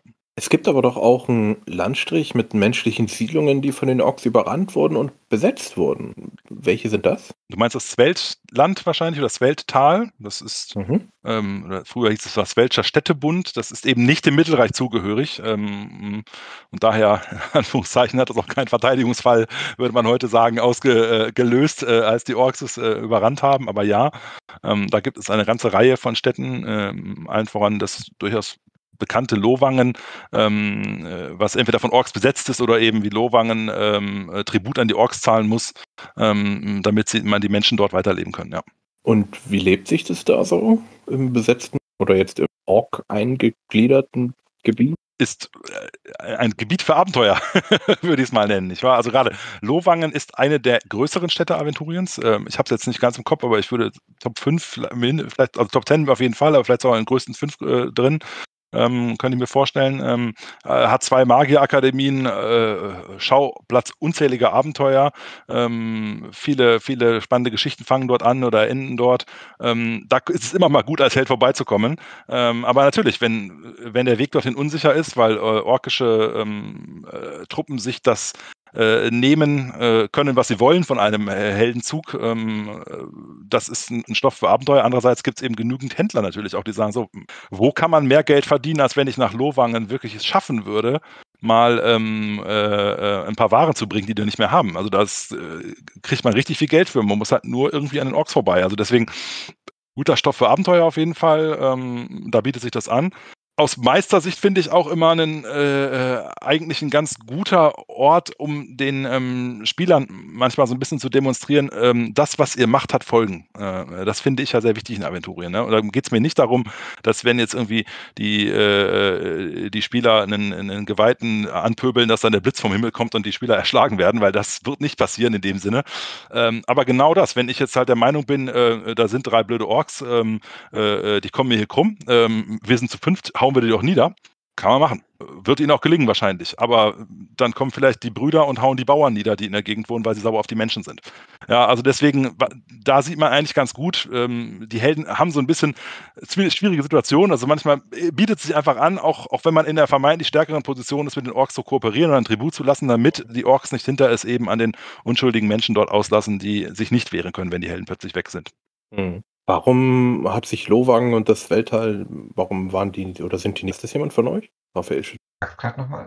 Ähm, warum ist Lowang und das Weltall nicht im Mittelreich? Warum sind die kein Teil davon, wenn es eine der größten Städte ist? Ja, ich, ich glaube tatsächlich, dass die, ähm, dass die, die Lande am Sveld, die waren ja früher in diesem Swelschen Städtebund organisiert, dass die von jeher ähm, ihre, ihre Unabhängigkeit warten. Ich, ich glaube, es gibt, also bin ja jetzt auch tatsächlich wahrscheinlich, ich glaube, es gibt in der Geschichte Lowangs auch keine Zeit, wo das, wo das Teil des Mittelreichs früher mal gewesen ist. Es ist vielleicht auch so ein bisschen, ähm, also wie, wie in realen ähm, Entwicklungen, auch dass eben die Menschen, die nicht zufrieden sind mit der Situation im Mittelreich oder was, dass sie halt immer weiter in die Randgebiete ziehen und sich dort ihr eigenes aufbauen. Und ich vermute, dass auch die, die Länder am Feld, dass es damit sich ähnlich verhält, weil ich mich nicht entsinnen kann, dass, dass die Region mal Bestandteil des Mittelreichs gibt. Das ist zum Stück weit auch so, ein, so ein ähm, ja, Wild, Wild-West-Setting oder, oder ja, im Setting, was quasi im Jahr erst ähm, besiedelt wird, wo, wo auch die, also abseits der Städte, die, die menschliche oder orkische Siedlung sehr dünn ist. Also wo man sagen kann, dass das vielleicht einfach auch Neuland mhm. Okay. Dann Orkreich der Schwarze hinter uns und weiter nach Westen gehen. Im aventurischen Almanach steht da die Wälder des Norden. Was? Nach Osten aber eher. Äh, Osten, genau. genau. Im Osten, im Westen haben wir ja Torwall und das Kielskerland. Äh, Im West, blablabla. Im Osten sind die Wälder des Nordens. Was sind die Wälder des Nordens? Wer wohnt da? Ja, das sind jetzt, kann ich natürlich sagen, äh, ich, ich wäre übertrieben, wenn ich sage, das ist die schönsten, äh, die Reiche äh, der Welt, weil ich bin gar nicht so ein großer Elfenspieler. da habe ich auch selber erstmal ein, einmal einen gespielt. Aber natürlich sind das im Wesentlichen zählen dazu die Salamandersteine auf jeden Fall. Die Salamandersteine, das ist tatsächlich das Kerngebiet ähm, der aventurischen Elfen. Klar, es gibt auch noch Elfen, die an anderer Stelle leben, aber ähm, Au- und Waldelfen ähm, kommen aus der Gegend. Ähm, und das sind wirklich so ja, es sind, es sind magische Orte, äh, kann man explizit wirklich sagen. Also da, da sind die Rückzugsgebiete der Elfen, die Wälder sind sehr dicht. Ähm, am, am, Rand gibt es auch einige Städte, auch durchaus mit Gerasim einen Ort, ähm, wo Menschen und Elfen gut zusammenleben. Ähm, äh, und ja, äh, die Salamandersteine sind ein Ort zahlreicher Mysterien. Da gibt es gerade, wenn es ein bisschen äh, sphärischer wird in den Abenteuern, dann führt man die vielleicht in die Salamandersteine rein. Da gibt es eben einige und ähm, sind explizit auch nicht im Detail beschrieben, finde ich auch sehr gut so, ähm, was es da noch alles geben könnte. Denn wie gesagt, die Elfen sind eines der mysteriösen Völker Aventuriens. Sie sind aber sehr mit Magie verbunden. Ähm, und was es vielleicht noch in den Salamandersteinen für Sachen zu entdecken gibt, das können hoffentlich noch Generationen von DSA äh, Spielern, Spielleitern und Autoren sich überlegen und, äh, äh, und dann zusammenführen sozusagen. Ja. Okay, also aber grundsätzlich kann man sagen, die Elfen Aventuriens kommen alle daher. Ja, nein. Also sie sind heute der Rückzugsgebiet, das Rückzugsgebiet der Elfen. Wir werden ja im, im aventurischen Podcast noch irgendwann weiter in den Zeitalter voranschreiten. Die Elfen haben ähm, bis tief in dem Gebiet, was David ganz eingangs mal nannte, die Wüste Kom äh, ähm, herein im Süden Städte gehabt. Bis ganz oben im ewigen Eis hatten sie Elfenstädte. Also die Elfen waren vor einigen Zeitaltern, äh, also sind noch, Zeitaltern sind noch gar nicht so viele her, aber ein paar tausend Jahre sind es schon, waren wirklich verstreut über Aventurien. Ähm, aber sie sind eben im, im, im, Rückgang, die Kultur, und äh, ähm, sie, die Manderschein ist so ein bisschen das Urtümliche, wo sie sich hin zurückziehen, wo jetzt die heutigen Elfen äh, äh, im Wesentlichen herkommen, aber äh, historisch gesehen waren die Elfen schon fast überall, sag ich mal. Man versteht dich gerade nicht. Du müsst einmal dein Mikro anmachen. Achso, ja, danke. Also wir haben die, ähm, es gibt ja kurze Übersicht würde ich jetzt mal für die Elfen mal dazwischen packen. Ähm, es gibt ja Waldelfen und es gibt, es sind dann die Auelfen. Die Auelfen kommen dort auch, genau. Dann gibt es noch die Steppenelfen, die kommen geografisch gar nicht so weit weg aus den Steppen des Nordens, also durchaus mhm. in der Nähe der Salamandersteine und ein bisschen exotischer, in Anführungszeichen, was die Verbreitung angeht, sind die Firnelfen, die im ewigen Eis leben. Also Firn, Steppen, Wald und Au. Ja. Okay. Frage, was ist der Unterschied zwischen den dreien? Äh, vier ich fange jetzt, mach mal einfach weiter, David. Ich bin gerade so ein bisschen im Elfen, in Elfen ein Stückchen mehr drin. Ähm, also es gibt ich äh, sag mal so, die Firnelfen sind schon ein bisschen die Exoten in dem Sinne, sie leben im ewigen Eis. Ähm, äh, das sind so ein bisschen die, die Harten, sag ich mal in Anführungszeichen. Ja? Die wissen, äh, damit ich da oben überleben kann, da muss ich mich durchsetzen können. Äh, Nächstenliebe gibt es da durchaus in der Sippe auch, aber das ist eher so ein bisschen diese, äh, eher etwas gefühlskalteren äh, unter den Elfen, die wirklich wissen, ich muss jagen, um zu überleben und ähm, im ewigen Eis sind wir auf uns allein gestellt und nur, da zählt nur meine Sippe. Ähm, äh, die, die Auelfen sind so die typischen Einsteigerelfen, würde ich sie vielleicht mal nennen, was, was nicht herabwürdigend sein soll, weil, weil ähm, ähm, äh, also wenn man mit dem Elf anfängt, kann man vielleicht mit dem Auelfen erstmal anfangen. Das sind so ein bisschen die Elfen, wie man sich am ehesten vorstellen kann. Die sind auch am ehesten die Nachfahren dieser alten Elfenvölker, die ich vorhin mal genannt habe, ähm, sind also sehr ähm, aufgeschlossen durchaus Menschen gegenüber eben, auch deswegen bietet es sich auch an, die vielleicht zu spielen. Ähm, da gibt es auch Legendensänger, die auch alte Geschichten noch kennen und vortragen und auf der Suche sind nach alten Elfenspuren. Äh, die Waldelfen sind dahingehend ein bisschen anders, weil die Waldelfen eben gerade nicht von den alten Elfenvölkern abstammen die, äh, ähm, und deswegen auch das ablehnen, was die Elfen. Man muss das so vorstellen, Elfen früher waren tatsächlich auch in großen Städten lebend, äh, durchaus dekadenter in einigen Dingen. Ähm, und das sind Sachen, die die Waldelfen absolut ablehnen. Die sagen, naja, ihr seid deshalb zugrunde gegangen, weil ihr damals so einen Quatsch gemacht habt. Äh, das will ich überhaupt nicht. Ähm, ich lebe hier in meinem schönen Wald und äh, achte die Tiere und äh, äh, passe bloß auf, dass ich irgendwie nicht an Geld oder ähnliche Sachen äh, überhaupt denke. Also deswegen sind die Waldelfen da nochmal ein Stück weit anders. Die Steppenelfen, da gibt es relativ wenig zu, da muss ich auch gestehen, bin ich jetzt ganz so Firmen dabei, ist ein eher kleineres Volk, sind auch so äh, ein bisschen Nomaden eher unter den Elfen, aber da bin ich jetzt auch nicht ganz so vorbereitet, als dass ich was sagen will. Das sind die kleinste Elfengruppe, sage ich mal so.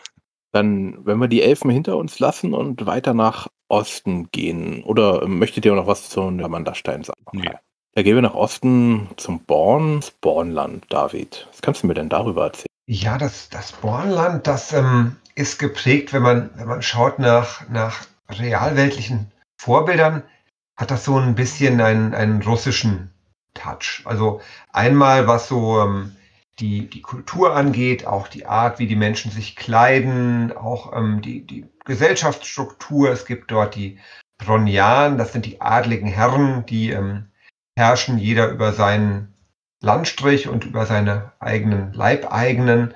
Es ist auch so ein bisschen die, die Stimmung der Menschen, sowas leicht, ähm, ja, Schicksalsergebnis, melancholisches haftet den Bornländern oft an. Und es ist auch eine Region, die sehr reich ist an, an alten Sagen und Legenden und an Märchen und wo auch Traditionen eine wichtige Rolle spielen. Und ähm, ja, ich würde sagen so, dass das vielleicht für, für Neuspieler das Bild mittelalterliches Russland trifft es ganz gut. Bist du wieder stumm? Oh, unglaublich. Kriege ich noch hin. Ähm, es gibt auch ein, äh, Abend, eine Kampagne, die Theaterritter-Kampagne. Die spielt im Bornland. Also, es ist auch die erste lange große Kampagne von DSA 5. Die ist inzwischen auch komplett erschienen. Es äh, gibt auch noch so ein paar kleine Heldenwerksabenteuer. Das sind, ein Heldenwerk-Abenteuer ist im Endeffekt ein Abenteuer, was man in einem, maximal zwei Abenden spielen kann. Die erscheinen mit den Booten zusammen. Und da gibt es, glaube ich, zwei Stück plus die sechs Teile für die Theaterritterkampagne, die alle im Bornland spielen. Dann lernt man auch viel über die Geschichte des Bornland. Auch sehr interessant. Ja, gerade diese Theaterritter, das ist eben was Besonderes im, im äh, Bornland. Das klingt immer, äh, also wenn man zum ersten Mal Theaterritter äh, liest, ne, dann denkt man, das ist eine Laientruppe von Schauspielern. Äh, nein, es ist eben gerade nicht. Das ist eigentlich ein sehr wichtiger Orden, der eben in, damals in den Ruinen des Theaters von Arivor im, im Hoasreich gegründet wurde. Das heißen die Theaterritter. Und äh, das ist ein Orden, der ähm, quasi ins Bornland äh, übergesiedelt ist, um dort äh, die Lande frei zu machen von Goblins und anderen. Ähm, und äh, die Bornländer heute, gerade die bornischen Adligen heute, haben allesamt äh, dann nur Stimmrecht oder sind Adlige, wenn sie eben auf einen dieser Theaterritter sich äh, in der Stammlinie zurückführen können. Deswegen ist das in Theaterritter auch wenn der Orden noch nicht mehr existiert, der ist ähm, äh, vor einigen Jahren oder vor einigen Jahrhunderten mittlerweile eben äh, zerschlagen worden, ähm, äh, bilden ihre Nachfahren noch sehr wichtige Sachen, äh, wichtige Personen im, im Born. Das sind sehr viele Mysterien, die sie umgeben. Ne? Also warum, äh, es gibt Dutzende Mysterien, was die Theaterritter dort gemacht haben sollen. Einige von denen werden eben aufgelöst in dieser Kampagne, ähm, aber es gibt noch genügend offene Fragen, glaube ich, rund um die Theaterritter, die eben in Born eine sehr wichtige Stellung einnehmen, auch wenn der Orden eben nicht mehr existiert. Also man kann sagen, von der Geschichte her, früher war es von Goblins besiedeltes Gebiet und die Menschen haben dann gesagt, so, ähm, wir hätten das jetzt gerne und in einem lang, langen Krieg haben die Goblins. Ähm, eine Besonderheit im Bornland ist auch noch mit den Goblins an sich. Das sind ähm, die Goblins Ro Rotpelze und diese haben in Festum, das ist Hauptstadt äh, des Bornlandes, haben dort sogar Bürgerrecht. Auch Goblins der Stadtwache ähm, und haben da ja, Bürgerrechte, was sehr ungewöhnlich ist auch. Dann gibt es noch ein Volk im Bornland, das wir auch noch erwähnen müssen, dass sie ich komme immer durcheinander mit diesen beiden. Äh die Norbaden meinst du wahrscheinlich, weil die Nivesen genau. ja etwas weiter im Norden sind noch? Genau, dann die Norbaden. Wer sind denn die Norbaden? Die Mache ich auch mal weiter direkt. Ja, die Norbaden sind tatsächlich so ein fahrendes Volk auch ein Stück weit. Ne? Das ist eigentlich eine äh, in, in, in der Sippenverbänden lebende ähm, äh, ähm, Personen, die, ähm, die meistens als Händler oder ähnliches unterwegs sind, die mit ihren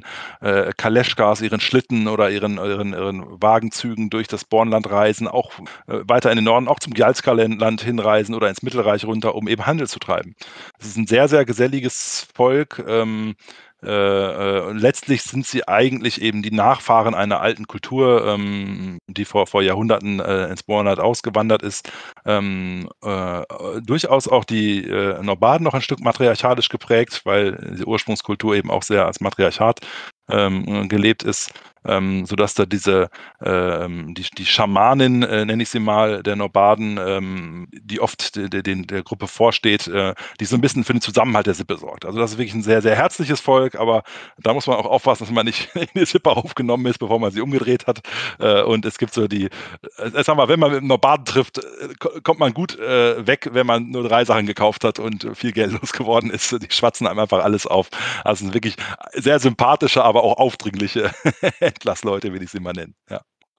Das heißt, die sind dort, äh, lieben dort, ähm, sind nicht, äh, also die Bornländer, es sind nicht alle so gut zu sprechen. Es gibt auch viele, die da die Nobaden eher abwertend betrachten. Aber wie du schon sagst, ein Herzensvolk. Natürlich gibt extreme gibt. Dann kommen wir nach Norden, den hohen Norden, und ähm, da gibt es noch auf der Karte, wenn man nämlich im Grundregelwerk schaut, da gibt es noch Bialdorn. Was ist denn Bialdorn? Sagt euch das was? Beide? Ja, ich weiß wenig, deshalb sage ich mal ein kleines bisschen was und David kann es gerne ergänzen. Ähm, Bialdorn ist eine freie Stadt im Norden, die deshalb eigentlich Berühmtheit hat, weil dort ähm, der ähm, wichtigste Firun-Tempel Aventuriens äh, äh, ähm, stand. Also kommen wir so ein bisschen ins Göttliche rein, das haben wir bisher ein bisschen ausgespart, aber tatsächlich von einem der ähm, äh, wichtigsten Götter Aventuriens. Ähm, ich glaube, das machen wir wahrscheinlich nicht mehr in dieser Runde, aber da mhm. sprechen wir auch noch demnächst drüber. Da gab es halt in Bialdorn einen Tempel, der, der, Tempel des Gottes der Jagd ähm, und des Winters. Ähm, dafür war Bialdorn einfach bekannt als ein Pilger, das aber auch hingereist. Ähm, und es fiel dann allerdings vor einigen Jahren eben unter die, die Herrschaft von ähm, Dämonendienern. Der Tempel wurde auch zerstört und ist jetzt aber wieder vor, wiederum vor einigen Jahren endlich befreit worden. Ähm, ja, ist ein kleiner Ort, viel mehr weiß ich darüber auch gar nicht. David, ich nicht, was du ergänzen hast. Ich kenne eigentlich mal nur den Firun-Tempel dort. Ja. Genau, ich, ich glaube, dafür ist der Ort auch am bekanntesten. Also Bialdon war eigentlich mal der äußerste nördliche Außenposten der, der Theater, die das Bornland besiedelt haben und hat aber dann später irgendwann seine Unabhängigkeit erreicht und ist aber, gilt so ein Stück weit, wahrscheinlich für die Menschen Bornland ist als ja nördlichster zivilisierter Punkt. Also eben auch Station, wenn man eine Reise oder Expedition noch weiter in den Norden plant und ähm, ist auch, ja, Pilgerziel eben durch den berühmten Tempel. Ist keine, keine besonders große Stadt, auch für aventurische Verhältnisse. Also der, der Tempel steht dort und ist ähm, bekannt. Dann der hohe Norden, was gibt es da noch so? Du hattest schon diesen erwähnt, die leben da. Und die Sphären Lebt da noch wer? So, was bekannt ist, was man kennen sollte? Es gibt eine Stadt namens Pavi noch, ähm, die äh, ich weiß auch gar nicht, ob sie noch, ob sie formal zum Mittelreich gehört oder sowas, aber äh, ja, bin ich mir gar nicht sicher oder mal dazu gehört hat zumindest. Ähm, bis vor nicht allzu langer Zeit war das eben auch eben von eben jenen Dämonendiener, die auch Bialdorn genommen haben, ähm, unter der Eis, Eiskönigin, nenne ich sie mal, Glorana, äh, beherrschtes Gebiet, ähm, ist aber eben vor einigen Jahren befreit worden da oben leben eigentlich, sage ich mal, auch wirklich nur entweder die gescheiterten Existenzen, die woanders nicht mehr, nicht mehr äh, wiedergefunden haben äh, oder welche, die abgeschoben wurden ähm, oder wirklich solche, die sagen, ähm, äh, ja, ich, ich möchte eisern Willen haben, ich möchte mich durchbringen. Also da oben ist wirklich, da ist nichts schön, äh, in Anführungszeichen, da ist halt ewiger Winter. Ähm, äh, Pavi mag ein paar Wochen im Jahr vielleicht eisfrei sein, dass da mal Schiffe anlegen können. Ähm, es gibt noch äh, Glündhafen als anderen Ort weiter im Norden. Äh, da ist noch ein wichtiges Praios-Kloster, um wieder bei den Göttern anzukommen. Ähm, ähm, sehr spärlich besiedelt. Wie gesagt, in Wesen gibt es noch, das sind auch so Stammesverbunde äh, ähm, von Menschen, meistens sehr, sehr viele Rothaarige dabei, sind ein gut Volk von Jägern ähm, ähm, und die sich sehr den Wölfen sehr nahe äh, fühlen. Die haben halt eine eigene Glaubenswelt, wo sie an die Himmelswölfe glauben und ähm, sind sehr naturverbundene, äh, hervorragende Fährtenleser und Jäger, aber ja, naturverbundene Eiskenner, mhm. würde ich sie mal nennen, ja. Gesagt, ja, und ansonsten ist da wirklich nicht viel zu holen, ehrlicherweise. Natürlich gibt es auch immer wieder Geschichte über Gold oder ähnliches, was man da umfinden kann, wie das so ist in entlegenen Gegenden, aber überall ist Eis erstmal. Hm. Es gibt auch ein ähm, Abenteuer, ein Hardcover-Band, äh, Die Klingen der Nacht. Der spielt auch dort im Norden. Ähm, hier mein Gruß an den Meister Max. Der äh, meistert uns das gerade. Da bin ich gespannt, wie es weitergeht. Und dann, wo die Himmelswölfe erwähnt hast, die haben wir doch schon mal irgendwie auch gehört, oder? Wie war denn das in einer der letzten Folgen? In der letzten? Vorletzten? Du nix jetzt. Äh, ich glaube, es war in der letzten, ich bin mir aber auch nicht mehr ganz sicher. Äh, äh, die haben ja damals für etwas Unruhe gesorgt und äh, als die Götter wütend wurden, sage ich mal, bei die Himmelswölfe losgelassen. Ähm, hm. das, ich weiß aber auch nicht mehr, welchen Zeitalter das war, ehrlicherweise. Aber ja, die sind uns in der Geschichtsstunde schon mal begegnet, genau. Okay. Und insbesondere Graufang, der ja ausgeschickt wurde, um den. Mhm. Ja. Der Güldene. Okay, dann haben wir jetzt den hohen Norden, den eisigen Norden. Gehen wir wieder nach Süden. Bevor wir ähm, im Mittelreich ankommen, ähm, gibt es noch Steppen, wo die Elfen wehen. Das äh, Dominium Donnerbach. Was ist denn das, David? Ich glaube, gerade dazu kann Raphael wahrscheinlich mehr sagen als ich. Ja, Der hat in der Region auf jeden Fall schon äh, Abenteuer publiziert. Genau, das stimmt. Äh, äh, da kann ich wissen, was zu sagen. Ähm, das Dominium Donnerbach ist tatsächlich auch eine freie Stadt, die nicht dem Mittelreich angehört. Auch da hat man viel Konflikt mit den Orks. Ähm, äh, äh, die Stadt ist aber ein, eine wichtige Stadt im, im Rondra-Kult. Also jetzt machen wir langsam die Götter, fangen wir ja an, stärker aufzuzählen. Ähm, dort ist ein sehr wichtiger Rondra-Tempel, ist auch eine sehr wichtige Rondra-Geweihte und eigentlich war es bisher immer nur die kleine Stadt Donnerbach um ein bisschen herum an äh, Rittergütern, aber in besagtem Abenteuerband Sturm geboren entscheidet man im Dominion, wir müssen auch mal uns ein bisschen expandieren, uns nach Osten begeben und fängt dort an, eben diese Hardorper Ebene, die etwas äh, östlich davon gelegen ist, zu besiedeln. Ähm, und äh, genau, es ist halt auch, ich sag mal, ein Stück weit, man ist sich relativ nah mit Weiden, äh, so will ich es mal mhm. formulieren. Mhm. Ja, es ist so ein bisschen ähnlich wie in Weiden. Man gehört nicht dem Mittelreich an, aber Rondra ist ähm, äh, das Mittel der Wahl. Ähm, man hält die Rittertugenden hoch und äh, stellt sich äh, gegen den Ork. Ähm, also so gesehen hat man da schon einige Gemeinschaft, äh, Gemeinschaftskeiten zu Weiden. Ja. Mhm. Also du hast, es, es gibt ein Abenteuer, Donnerwacht 1 und 2. Ja, Donnerwacht hat nichts mit Donnerbach zu tun, äh, ah, okay. irritierenderweise. Aber ja, Donnerwacht äh, äh mittlerweile als Hardcover erhältlich, das beides enthält. Ähm, das spielt eher im Swelschen Städtebund und im Orkland. Ähm, aber in, im Dominium Donnerbach gibt es den Band Sturmgeboren, der ist noch aus DSA 4-Zeiten, ich weiß nicht, wie der noch erhältlich ist. Ähm, da geht es um die Besiedlung der Hardopper-Ebene tatsächlich. Das war auch mein erstes Abenteuer für DSA, ja. Ah, okay. Naja, dann äh, wieder was gelernt, okay. Also ähm, Donnerwacht, das ist also im Svelta, wo wir schon gesprochen haben, und dann das andere warten wir noch, dass etwas Neues rauskommt. Okay, gehen wir weiter ins Mittelreich. Im Mittelreich gibt es ja noch ähm, etwas Dunkleres, etwas, etwas, was im Schatten, Schatten landet. Könnt ihr mir darüber erzählen? Ja, du hast schon ganz richtig gesagt, es liegt im Mittelreich, war auch früher ein Teil des Mittelreichs, ist also quasi ein, ein, ein Stück erobertes Mittelreich. Und ähm, das war ähm, oder, oder ja, findet seinen Ursprung in der Eroberungsfeldzug Borberats, der auch äh, noch eine wichtige Rolle spielen wird, wenn wir uns weiter mit den Zeitaltern beschäftigen. Und der hat, also was die aventurische Geschichte angeht, ungefähr 20 Jahre in der Vergangenheit weite Teile des östlichen Mittelreichs unter seine Kontrolle gebracht. Borberat ist ein mächtiger Schwarzmagier und Dämonenpaktierer gewesen und ähm, ein Teil dieser Lande konnte wieder zurückerobert werden vom Mittelreich. Ein Teil ist aber immer noch unter der Herrschaft der ja, Nach Nachfolger Borbarat. Borbarat selbst wurde besiegt und verbannt, aber seine, seine Erben haben sich dann festgesetzt, äh, so ein bisschen wie bei Alexander dem Großen und dessen Begonnen. Jeder hat sich so einen Teil geschnappt und da sein persönliches Königreich draus gemacht und ein guter Teil wurde eben vom Mittelreich wieder befreit. Ein Teil ist aber immer noch da. Da liegt ähm, im nordöstlichen Mittelreich und dort ähm, ja, findet sich in vieler Hinsicht ein, ein Zerrbild der Situation im Mittelreich. Das heißt, es werden eben nicht die guten Götter verehrt, sondern die bösen Erzdämonen. Es gibt keine Gerechtigkeit, sondern eben ein System aus Ungerechtigkeit, unter dem die Menschen leiden. Es herrscht kein guter, ähm, keine gute Kaiserin, sondern es herrschen da brutale Tyrannen, die sich eben mit Hilfe von Dämonen und schwarzer Magie und Gewalt an der Macht halten.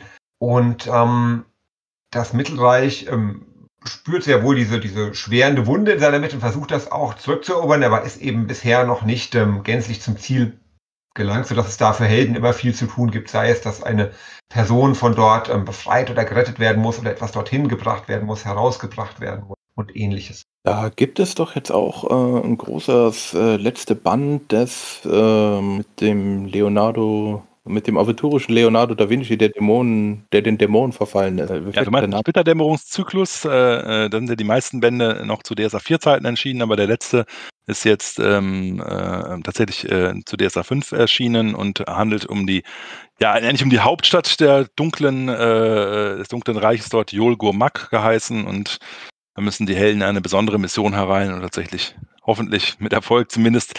Ähm, aber es gelingt, äh, äh, ohne jetzt jetzt vorwegzunehmen, äh, es wird auch den Helden nicht gelingen, äh, diese Stadt auszulöschen und äh, die Fahnen des Reiches zu hissen, aber sie können eben schauen, dass sie ähm, dort äh, einen, einen Teilerfolg und sicherlich wichtigen Teilerfolg erringen können, wenn sie gut sind.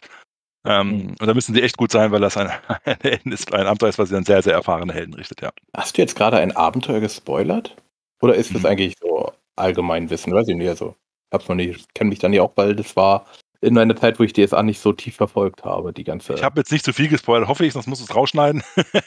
Aber ich meine, es ist der Splitterdämmerungszyklus, das sollte nicht äh, verwundern, dass man äh, dorthin reist. Ähm, und ich habe ja explizit nicht gesagt, was die Mission ist und worum es mhm. geht. Aber ja. Und der, der Status quo, der im Almanach gesetzt wird, wird dadurch auch nicht äh, angefochten. Das heißt, es geht, ah, okay. also, geht weiterhin was. Naja, gut, dann ist es ja auch kein Spoiler. Okay, wir haben jetzt ähm, rund eine Stunde. Wir haben den mittleren und den nördlichen Teil Aventuriens äh, schon mal besprochen. Ich würde vorschlagen, wir werden eine weitere Folge mit dem südlicheren Teil machen.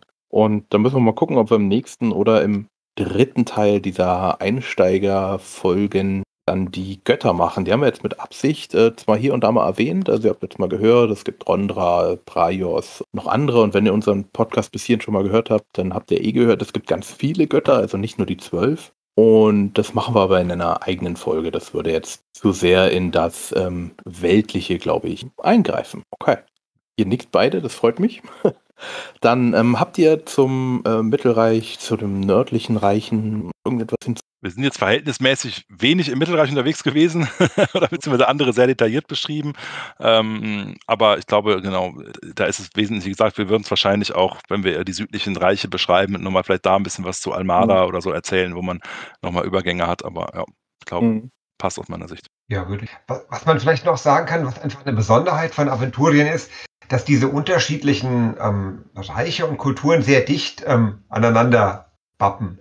Das heißt, mhm. ähm, wir haben auch ähm, Länder, die quasi direkt benachbart sind, aber scheinbar einen ganz unterschiedlichen ähm, wissenschaftlichen und technischen Fortschritt haben, sodass ähm, ja man manchmal das Gefühl hat, naja, die, die müssten doch, ähm, das eine Land müsste dem anderen ja hoffnungslos unterlegen sein. Das ist aber dann doch so, oder man entdeckt, finde ich, immer wieder ganz gute Begründung, warum das eben doch alles miteinander funktioniert und diese Länder eben auch alle ihre, ihre Existenzberechtigung oder sie sich behaupten können, eben im Widerstreit mhm. der, der Staaten. Und ich glaube tatsächlich auch, dass der, dass der ja, noch kommende Südaventurien-Teil und vielleicht ergänzende Mittelaventurien-Teil da auch nochmal ähm, ganz gut zeigt, dass da eben auch so ein Gleichgewicht der Kräfte besteht, weil eben nicht einfach ähm, ein großes Reich ein anderes überfallen kann, ohne dann sich Sorgen machen zu müssen, eben um seine anderen Landesgrenzen.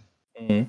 Okay, aber ich höre heraus, hier wird Gerd noch ein bisschen mehr aufs Mittelreich eingehen, oder? Ist, ich stelle nur fest, wir haben, glaube ich, mehr über Nostria und Andergast erzählt als über das ganze Mittelreich, aber äh, äh, das ist für mich okay, also äh, müssen wir nicht tun, mir ist es egal.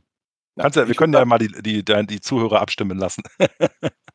ja, oder wir äh, hängen jetzt einfach noch zehn Minuten ran und sprechen nochmal über das mit. Das, äh, glaube ich, das machen wir jetzt nochmal zum Schluss. Ähm, das Mittelreich. Ihr habt schon gesagt, es gibt äh, Weiden, es gibt noch andere ähm, Sachen. Wir haben Weiden, Tobrien, was wir gesagt haben, im, ganz im Osten, dann ähm, südlich von Tobrien die Sonnenmark. Was könnt ihr mir über die Sonnenmark und gleich daneben ist noch die Wangerunkerei. Was könnt ihr mir über die erzählen? Ja, das sind verhältnismäßig kleine äh, Teile des Mittelreichs. Das muss man mal im historischen Kontext äh, sehen. Äh, historisch hatte das Mittelreich im Osten zwei Fürstentümer bzw. Herzogtümer, nämlich Dapatien und Tobrien. Aber genau die sind eben damals von eben jenem Borberat überrannt worden. Tobrien fast vollständig, Dapatien auch in weiten Teilen.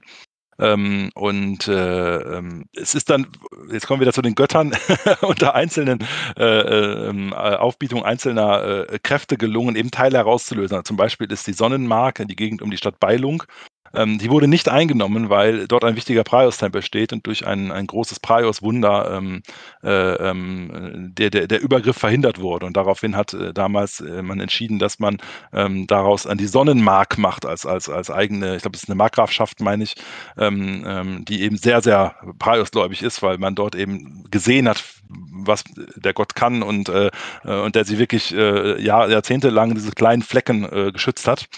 Ähm, und äh, äh, ähnlich ist es eben mit der, der Travia-Mark. Ähm, ähm, äh, wo man, das ist im Wesentlichen der Teil der Patiens, der irgendwie noch ein Stück noch äh, ähm, von der Travia-Kirche ähm, äh, gehalten wird aus, aus ähm, Romulus heraus, ähm, wo man auch ähm, ja, eine Markgrafschaft gefunden hat, die ehemals zum Dapatien gehörte, wo man jetzt sagt, naja, das stellen wir mal unter die, die Herrschaft einer Markgrafschaft, ähm, machen es eben nicht ganz so groß. Mittlerweile müsste sogar fast alles zurückerobert sein, ich weiß es gar nicht genau, David. Ähm, aber von Dapatien ist, glaube ich, eigentlich wieder alles da, aber man hat trotzdem entschieden, das nur als Markgrafschaft zu machen. Vielleicht auch, weil Dapatien so ein hoffnungslos zerstrittenes Fürstentum früher war. Yeah. Aus, zwei, aus zwei Adelsfamilien, die sich auf den Tod nicht leiden konnten. Und da wollte man, glaube ich, auch jetzt ein bisschen Riegel mhm. vorschieben. Ja, und Warunkai ist äh, äh, ähnlich. Ähm, ist auch eine Markgrafschaft. Ähm, die wiederum sehr unter dem Stern der Rondra-Kirche steht, weil ähm, Warung eben auch ein wichtiger Tempel der, äh, der Rondra ist, wo auch es in einem sehr, sehr wie ich finde, sehr gutem Band, ähm, äh, Donner und Sturm, dem letzten Donnersturmrennen, ähm, die Helden auch einiges miterleben können. Also der ist zwar auch schon ein bisschen älter, der Band, aber den kann ich auch nur sehr empfehlen. Hat zumindest in meiner Runde viel Spaß gemacht. Da kann man so ein bisschen was miterleben und erkennen, warum ist Wahrung für die Rondra-Kirche so wichtig und wird eben von der Rondra-Kirche gehalten. Ähm, und da hat man auch eine kleine Markgrafschaft eben rausgemacht aus der Gegend dort. Okay, äh, direkt daneben ist die Rabenmark, David. Genau. Ähm, Die Rabenmark ähm, war Bollwerk gegen, ähm, ja, gegen ein ähm, Erbenreich und aus ja, der Erben, die, ähm, die quasi vor allem die, die ja, Untotenbeschwörung zur Perfektion getrieben haben und ähm, war quasi, also ja, ein, ein kleiner, kleiner Zuschnitt, der eben auch direkt an, ja, ein, ein Bollwerk bilden sollte, an, direkt an der, an der Front gelegen.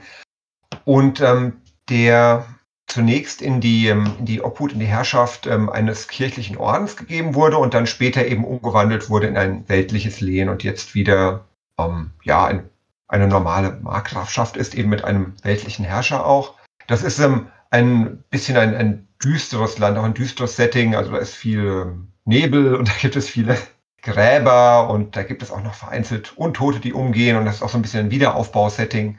Aber auch im, im Vergleich zu anderen Provinzen des Mittelreichs würde ich sagen, eine sehr kleine Region. Mhm. Okay, direkt daneben ähm, haben wir einmal die Rom Romelyser Mark und nördlich davon Weiden. Weiden haben wir ja schon, denke ich, gut besprochen. Was ist denn die Romelyser Mark? Ja, die habe ich eben schon als Travia Mark bezeichnet. Das war, glaube ich, der Name vorher. Aber ah, das okay. ist im Wesentlichen das, genau, ja.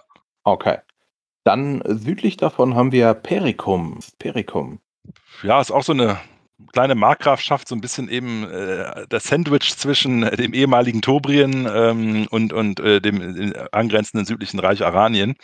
Ähm, war lange Zeit auch für die Rondra-Kirche wichtig, war früher der Haupttempel der Rondra in, in Pericum und ist eben der wichtigste äh, Kriegshafen des Mittelreichs, ähm, ähm, ähm was die mhm. Ostküste angeht.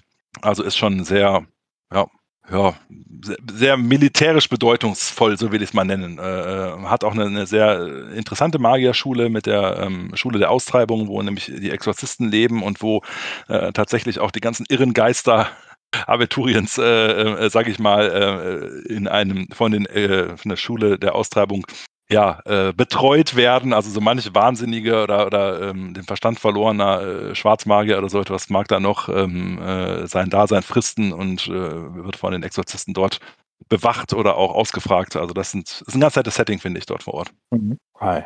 Dann haben wir den, das Herz von, vom Mittelreich, äh, Garizien mit der Hauptstadt Gareth und dem, du hast gesagt, äh, da war mal die Burg der Kaiserin. Ja, genau. Gareth ist die Hauptstadt des Reiches und hatte auch die neue und alte Residenz, also gleich mehrere äh, Kaiserschlösser. Aber im Jahr des Feuers gab es dann ein paar Tragödien, die ich jetzt auch nicht näher ausführen möchte, auch wenn das eigentlich schon ein bisschen länger heißt, das Abenteuer. Aber seitdem äh, ist die Kaiserin eben auf Durchreise, zieht von einer Pfalz zur anderen äh, und ist sicherlich auch ab und zu mal in Gareth, aber auch die, ähm, die äh, Hauptstadt, also die, die ganzen Reichsapparat, äh, der ganze Verwaltung ist nach Ellenwina damals verlagert worden. Ich glaube, die ist auch immer noch in Ellenwina, David, meine ich. Ne? Genau, ja. Da ist, also Gareth ist zwar formal noch die sicherlich die größte Stadt auch, ähm, und, ähm, aber sie beherbergt nur noch höchst selten die Kaiserin und die kaiserlichen Beamten sind eben auch alle in Wiener ausgelagert. Mhm. Okay. Haben wir westlich, äh, beziehungsweise erst noch äh, nordwestlich Greifenfurt, hast du auch schon mal erwähnt, die andere Mark gegen das Orkland. Mhm. Was können wir über Greifenfurt äh, noch so erzählen? Ich würde sagen, Greifenfurt ist auch eher, eher dünn besiedelt, eben geplagt von Orküberfällen immer mal wieder. Es leben dort auch eher ja, einfache, fromme Menschen, auch sehr priosgläubig, also glaube an den Gott des ähm, Lichts und der Rechtsprechung. Und es ist auch eher ein traditionell, eine traditionell geprägte ritterliche. Mhm. Und dann haben wir Kosch, den Kosch, die Kosch den, den Kosch, genau, das Fürstentum Kosch. Mhm. Und das ist, ein, das ist eine sehr, ja, so ein bisschen ein, ein, gemütliches Land. Im Kosch sagt man immer, da passiert nicht viel und da passiert auch in den nächsten 100 Jahren nicht viel. Da ähm, ist eine große, sind, sind starke Beharrungskräfte. Die Menschen im Kosch sind sehr ähm, ruhig und gelassen, unaufgeregt. Es gibt dort auch ähm, Zwerge, das Volk der Hügelzwerge ist im Kosch beheimatet, unter anderem. Und ähm, ja, die Koscher sind, sind so ein Land der, ja, der Tradition auch. Es wird dort vorzügliches Bier gebraut, das in alle Regionen Aventuriens exportiert wird. Und ähm, man ähm, ja, betreibt dort vor allem auch eben Landwirtschaft, traditionelles Handwerk. Es ist keine besonders kriegerische Region. Okay, Licht von Kosch, Almada. Ich glaube, Raphael, dort ist Almada schon mal irgendwie hier und da erwähnt. Genau, Almada ist so ein bisschen das spanisches Setting, sage ich mal, ein Stück weit, äh, ähm, wo man auch den Einfluss eben in den, wo wir später sprechen werden, in den südlichen Reichen sieht, wo es halt eher so ein bisschen arabisch zugeht. So ein Land der heißblütigen Caballeros, äh, ne, wo man Wein schätzt und Pferde und äh, ähm, äh, schnell mit dem äh, Degen zur Hand ist, um die Ehre zu verteidigen oder so etwas. Also wirklich an, äh, grenzt sich schon deutlich ab von den anderen, äh, anderen Provinzen. Äh, Im Mittelreich war auch für einige Zeit lang unabhängig. Dann gab es ein, ein, Gegenkaisertum, was es aber auch mittlerweile eben Geschichte ist. Ähm, ja, also wirklich eigentlich ein direkter Gegensatz zum Kosch, den wir gerade hatten. Also in Almada ist immer was los. Äh, ähm, die Leute wissen da auch zu feiern äh, oder sauer zu sein und zu kämpfen. Und äh, Hauptsache, es bleibt nicht stehen, sondern irgendwas passiert, sage ich mal. Ja. Okay, dann nördlich von Almada und westlich von Kosch sind die Nordmark. Können wir über die sagen? Auch ein Land der, der Traditionen und ähm, auch ein Land der, der gestrengen Adelsherrschaft. Ähm, die ähm, Nordmärker wissen alle genau, wo ihr Platz ist. Jeder hat seinen Platz in der göttlichen und weltlichen Ordnung. Es ähm, gibt eben dort, sagte Raphael schon in Elenvina, die, die Reichsverwaltung, das heißt die, die, die Schreibstuben und, und die Verwaltung des, des Kaiserreiches, die Archive und ähm, ja auch den Reichsgerichtshof. Und ähm, in den Nordmarken ist man Magie gegenüber und Magiewirkern eher misstrauisch bis feindselig gegenüber eingestellt. Es gibt dort auch nur eine einzige Zauberschule, eine weiße Akademie, die aber auch eher so ein Nischendasein führt. Und ähm, ja, man kann sagen, die, die Nordmärker stehen so ein bisschen in dem Ruf, ähm, wenn es zur Schlacht geht, kommen sie gerne zu spät. Sie kommen immer erst nach der Schlacht an. Das äh, hängt ihnen so ein bisschen nach.